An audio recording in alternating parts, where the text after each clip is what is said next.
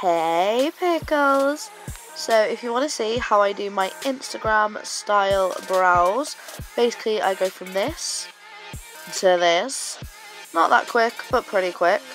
If you want to see how I do this, then stick around because I am about to show you.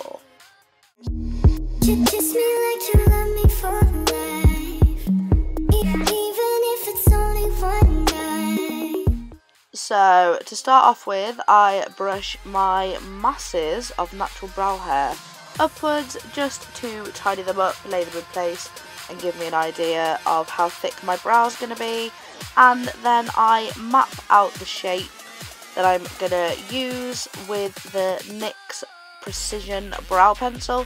This is in the shade Auburn, and she is she orange, but you know, we're going to go over it anyway don't even worry about it.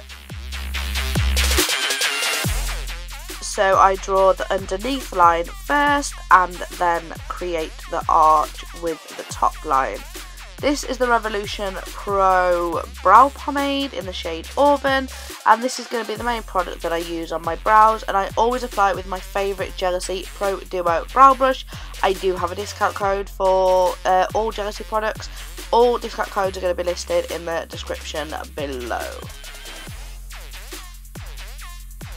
The first thing I do is follow the outline that I have created and now you can really see how orange that pencil is. Do not recommend it as a standalone product unless that's obviously what you're going for. And then I fill in the tail up to the arch and feather that through the front of the brow to soften it. I then use, same again, Revolution Pro uh, Duo Brow Powder, and this is in Ash Brown because I do like my brows that little bit darker. And this is just a cheapy angled uh, brow brush, and I pat the brow powder on. I use the darker of the two, and I try to pat it on rather than swipe it on too much, just so I don't disturb the pomade. And again, I only do that on the tail up to the arch. Once it's on, I work that powder through and forward towards the tip of the brow, just using a spoolie. This is the Rimmel Brow This Way Clear Brow Mascara, uh, just a bog standard brow gel, and I use it to finish off just by brushing my brow hairs uh, in the direction of the brow for the bulk, and I brush them upwards a little bit at the front, just to give the illusion of a slightly more bushier brow.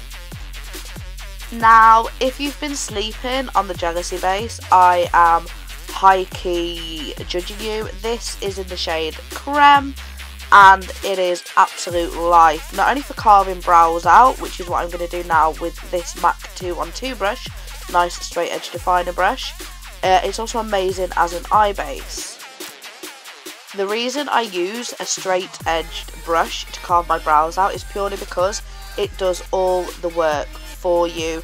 It gives you a nice, smooth, straight line and it just makes the whole process so much easier and fluid and it just gives the brows that nice, crisp, clean look that we're going for. Just, just look at that. I had to slow-mo this bit because if you don't think this is this is porn, we cannot sit together. you're going to want to feather that carve down slightly uh, regardless of what you use as an eye base just so it's not a block of concealer underneath your brow and I like to have a little bit of a unibrow moment and just join them in the middle so I know everything is nice and level. Your girl is a firm believer that the top of the brow should not be ignored so I carve that out too and for this I'm just using the Primark concealer in Toffee just because it's closer to my foundation shade. And this is a Zoeva 233 that I have lash glued. I can definitely do a video on this if you guys would like. And I just repeat the same step above as below just really giving that brow some structure and accentuating that sexy little curve at the arch.